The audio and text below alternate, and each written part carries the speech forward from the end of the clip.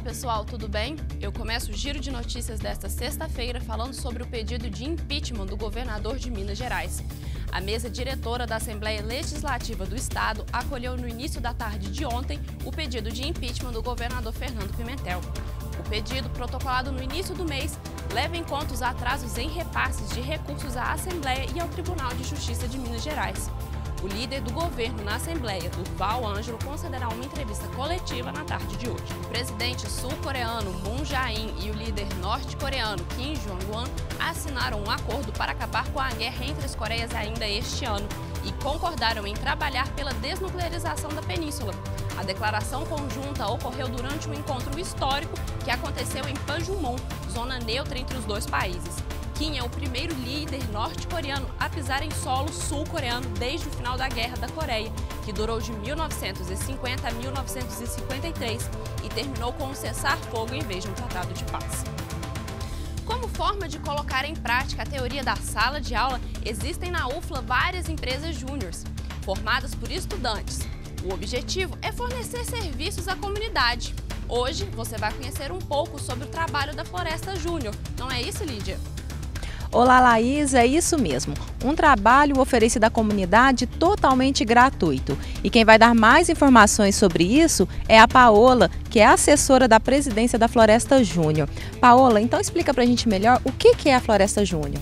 Bom, a Floresta Júnior né, é uma empresa de consultoria florestal da UFLA, é totalmente sem fins lucrativos, é, então é voltada para a área apenas do, é, de engenharia florestal, no qual nós realizamos vários projetos e consultorias da área. Quais são os, os trabalhos oferecidos? Bom, a nossa carta de serviços ela é bem ampla, só que eu vou falar os principais para vocês. É o inventário florestal, nós realizamos também o plano de recuperação de áreas degradadas ou prada e também realizamos o cadastro ambiental rural e entre outros serviços. Existe algum custo? É cobrado alguma coisa de quem solicita esses serviços? Não, a Floresta Júnior, os integrantes trabalham né, sem fins lucrativos, só que os nossos serviços prestados, eles são é, abaixo do mercado, só que nós frisamos mais não o preço abaixo do mercado, e sim a qualidade dos serviços prestados e o suporte técnico e acadêmico da Universidade Federal de Lavras. E Paola, quem são essas pessoas que podem solicitar o serviço da Floresta Júnior? Bom, qualquer pessoa que tem interesse por esses serviços, né?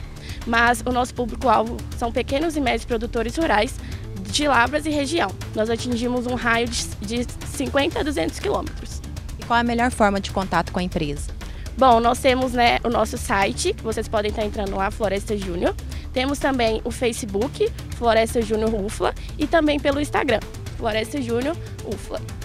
Ok, Paola, muito obrigada pelas informações.